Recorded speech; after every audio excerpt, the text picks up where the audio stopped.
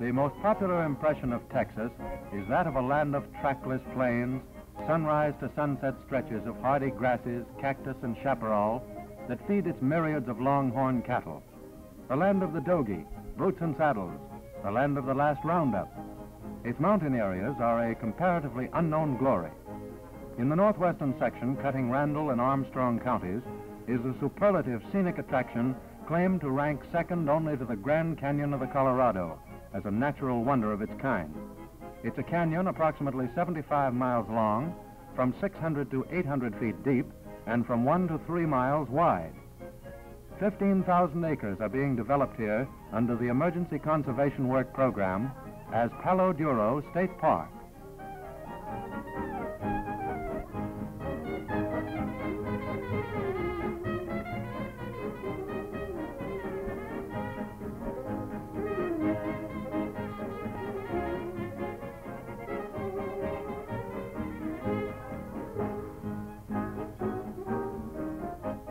Civilian Conservation Corps labor under National Park Service direction has accomplished unusual results in this unusual country. This lodge for park visitors is so designed as to appear only as a rearrangement of the majestic rocky masses which rim the canyon. It hides itself in the wall, a good example of the Park Service's policy of disturbing natural beauty no more than is necessary.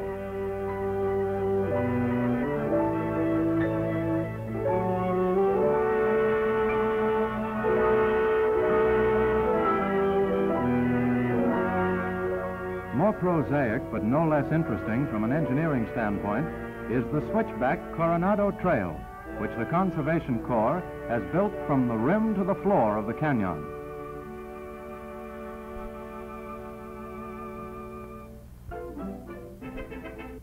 In keeping with the character of the surroundings, all construction work at Palo Duro is massive.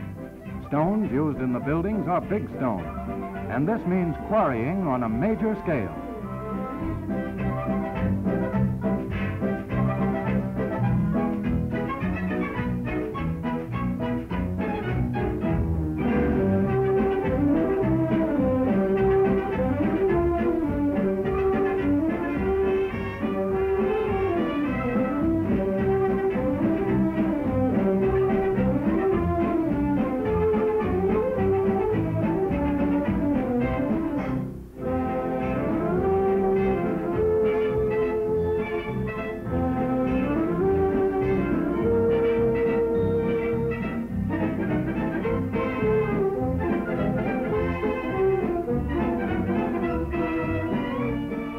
Water crossings are constructed on many of the park trails across which travel is possible at most seasons of the year.